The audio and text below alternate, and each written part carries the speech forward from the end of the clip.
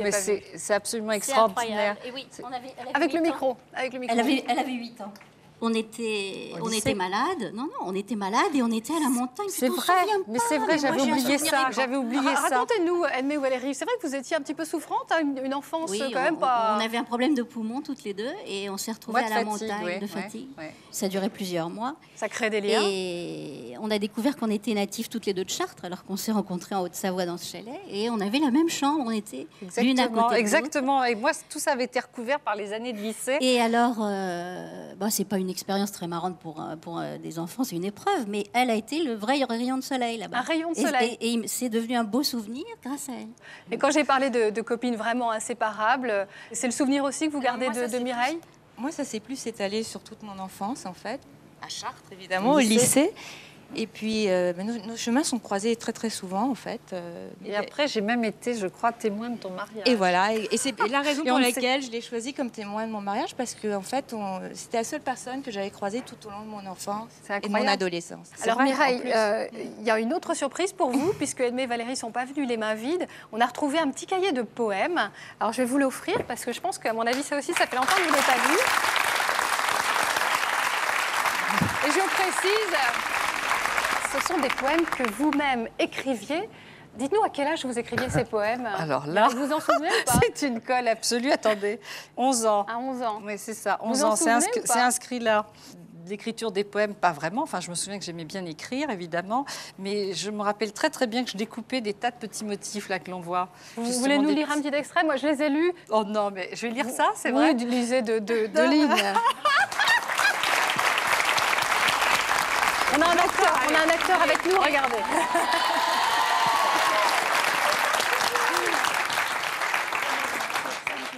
Alors, les oiseaux. les oiseaux. J'entends les oiseaux chanter parmi les bois légers. Ils gazouillent tendrement. Et les voisins arrivant les prennent pour des fées, dont on n'est jamais lassé. C'est joli. Merci Mireille. Merci à ces deux amis d'enfance. On, on se euh, quitte. c'est incroyable ce qu'elle écrit. Je suis en train de voir un truc. C'est un truc de, de fou. Elle avait 10 ans. S'il vous plaît, écoutez, à 10 ans. La vie est une lutte continuelle contre la mort. Un jour, elle vient, la mort, lugubre, drapée de voile noir. Elle vient, nous saisit et nous emporte au loin sans passeport pour nous montrer comment est faite l'éternité au lion des cieux attaché à jamais. Mais même si c'est triste, c'est beau. On va en tout cas se retrouver dans une petite pause, et puis vous découvrirez encore d'autres choses, notamment sur l'enfance de Gad Elmaleh.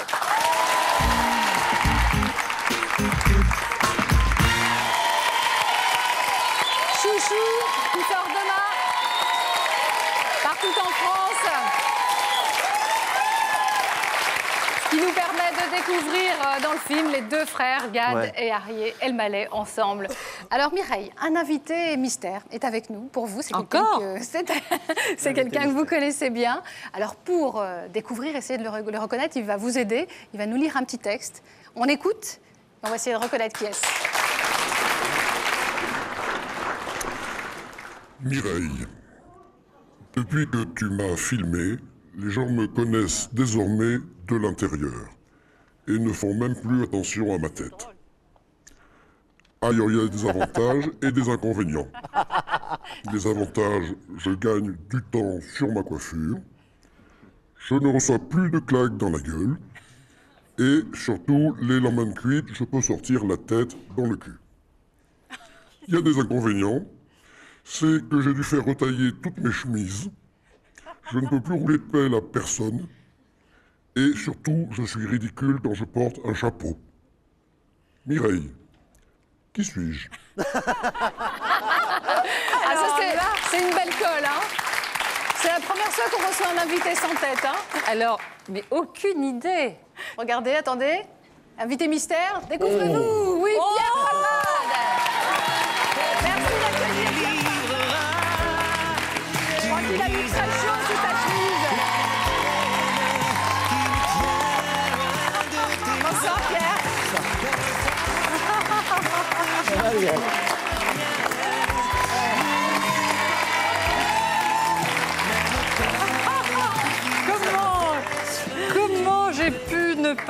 pas, Attends, ça fait pas si longtemps qu'on s'est vus, hein, ma Pierre, alors c'est vrai qu'avec euh, Mireille, vous avez fait ensemble une émission qui est, qui est restée dans, vraiment dans, dans la Oui. tête de tout le monde.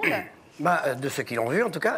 Oh bah, ils étaient nombreux, Expliquez-nous d'abord, avant de parler de l'émission, euh, pourquoi vous avez accepté de venir pour Mireille? Je crois que c'était un, un geste important pour vous. Euh, parce que c'est quelqu'un. C'était pas une preuve d'amitié, c'est parce que c'est quelqu'un qui a vraiment bouleversé ma vie. Ah oui, carrément. Euh, vraiment, elle l'a changé, pas, pas uniquement euh, sexuellement. hein. Je- non, je- ça sera dans un deuxième portrait. On dira tout, mais après. Non, mais parce qu'elle a, avec ce portrait-là, elle a vraiment euh, changé euh, le regard des autres sur moi, le- mon rapport aux médias, le rapport que les médias avaient sur moi. Moi, j'ai compris que le plus dur, c'était pas de dire qui on était, mais comment dire qui on était? Et ça, j'ai réussi à le, à le faire grâce à Mireille. Pour vous, l'interview, c'est une conversation. C'est pas une, une espèce de. Oui, et puis c'est amener euh, l'autre. Vous savez, il y a, alors, euh, bon, il y a un mot, euh, peut-être on a oublié, qui s'appelle la maïotique. Oui. C'est euh, c'est n'est pas apporter. une recette de cuisine, Qui hein. n'est pas. Très bien, la maïotique. Je vais expliquer. Gad. Alors, la maïotique, c'est amener Un peu les de autres. maïzena, un peu de non, mais à, dire, à accoucher de ce qu'ils ont en eux et de ce qu'ils ont aussi envie de dire. C'est porter Ah leur discours et ce qu'ils sont eux. Et moi, c'est ce qui m'intéresse de faire, c'est en tout cas de dresser des portraits qui soient au plus près des, des personnes que je filme ou que j'interviewe. Et puisqu'on s'intéresse à, à- à Mireille, à la, à la créature, euh, je, je- je- je voulais dire que Mireille est fidèle parce qu'on la revoit après son émission. Et je sais qu'elle revoit des gens, même des inconnus, qu'elle a vus dans son émission. Elle les revoit après, même des fois, elle leur rend service, elle les embauche quand ils sont dans la détresse. Je le sais, elle ne le dit pas. Mais c'est vrai, elle, elle fait des choses pour les gens qu'elle ne les a pas juste euh, exposés. Et puis, ciao, merci pour ce que vous avez donné. Merci, merci à tous les deux. Merci beaucoup à Pierre Palmal d'être venu témoigner et nous raconter sa Mireille Dumas. Adorable d'être venu. Pour l'instant, on fait juste une toute petite pause, quelques secondes, et on se retrouve dans, dans un instant avec euh, d'autres surprises.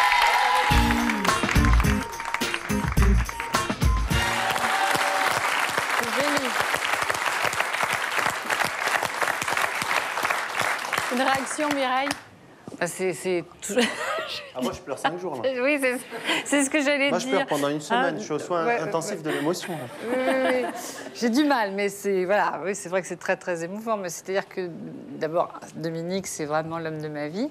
Et puis, il dit des tas de choses justes parce qu'on a partagé comme ça des, des années, des années ensemble. Et Dominique, on peut le saluer parce qu'il est en régie. C'est lui qui réalise nos émissions très souvent. Salut Dominique, on peut lui faire un petit coucou. Et merci de sa participation. Merci d'avoir mis la main à la pâte pour ce sujet avec Yann euh, Lebris de Carnet, notre euh, journaliste. Eh bien, le clan Colonna, qu'on a vu sur ces photos. Il s'est déplacé, bien sûr. Il est venu pour vous, Mireille, parce qu'ils vous ont adopté. Vous faites partie de cette famille. On accueille le clan Corse, le clan de Mireille. Il y a Véronique, Jean, Françoise,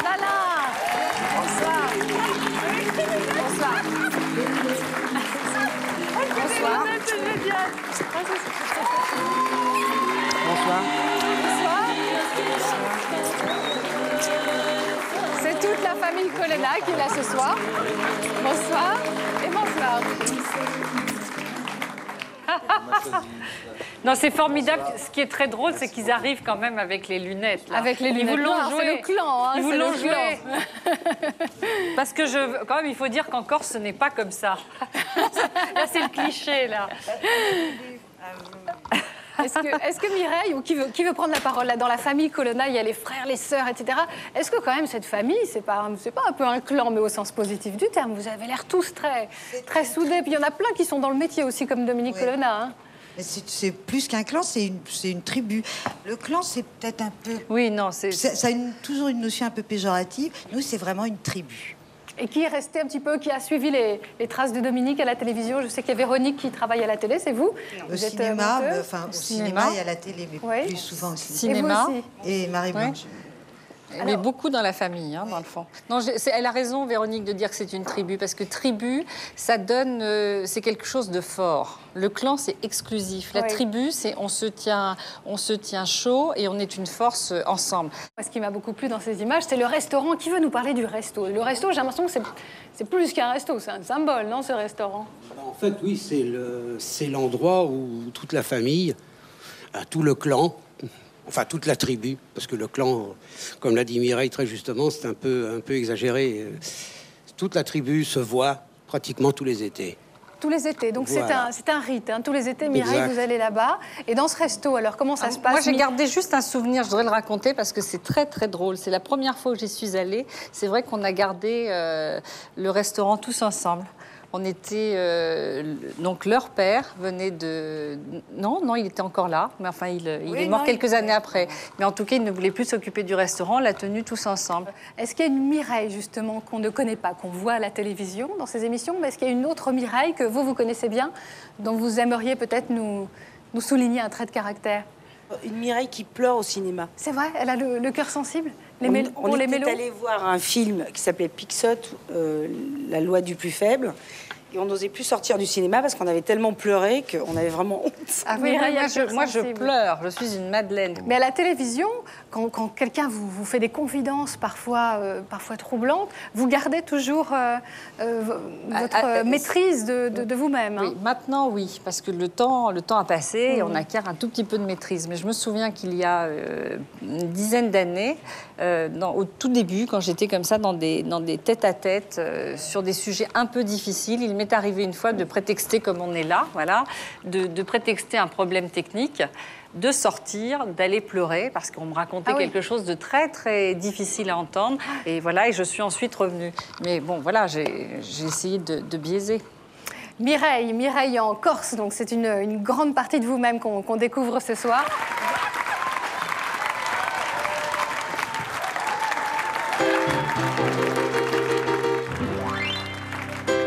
Oh, ne te mets pas en colère, il n'y a vraiment rien à faire. La voiture est en panne d'essence, nous n'avons vraiment pas de chance. Mireille, tu fais l'esprit à la maison. après qu'elle a compris. Elle connaît les garçons. Un roi et des airs, Elle nous voit bien venir. et il a tout pour plaire. Elle veut repartir. Mais il, Elle n'en voit rien. elle est en avance, Ça nous arrange bien. il faut rester là. Sa maman l'attend. Surtout ne t'en va pas. On est des chenapans. Tout le monde, Mireille, on t'adore.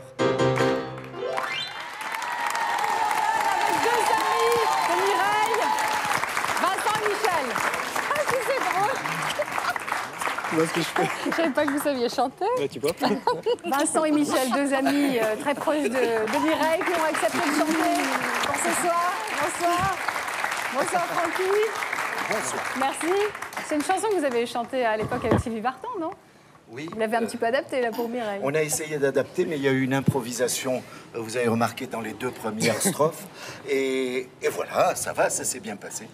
Mireille, autour de vous, ces trois beaux garçons, ce sont vos, vos potes, vos sacrés amis Fr- Francky, c'est Claude. C'est Claude Benzaken. Un Je ami suis de son longue ami date. de longue date. Et qui était effectivement très connu dans, à, ces, à cette qui a époque-là. marqué la bien sûr. période yéyé. Bien sûr, évidemment. On, on découvre aussi donc Vincent et, et Michel. Michel est architecte. C'est lui qui vous construit, paraît-il, un petit lit douillet, une maison. Euh, exactement. Et on passe énormément de temps ensemble.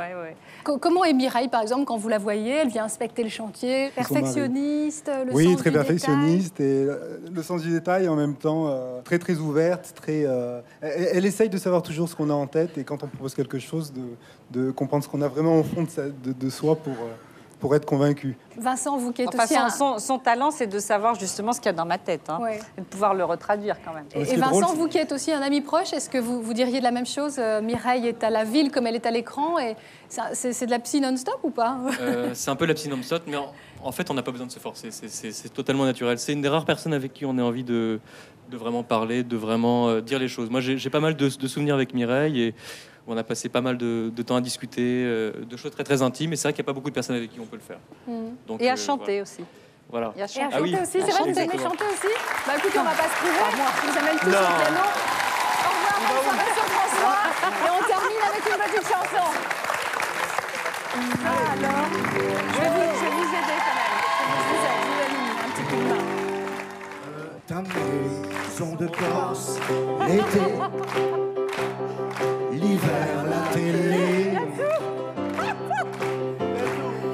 les productions de MD, toujours des succès.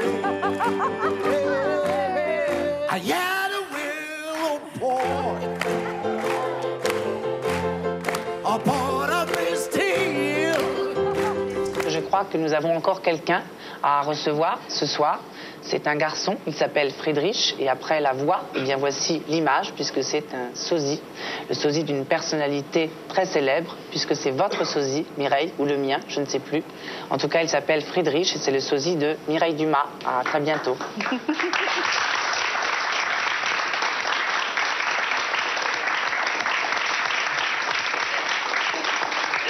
C'est vrai. Très sérieusement, c'est une sacrée expérience. hein. Je pense à toutes les vedettes que vous imitez. C'est absolument pas évident de, de se reconnaître et de jouer au jeu de miroir. Vous ne pouvez pas encore vraiment imiter ma voix. hein. Pas tout à fait, non.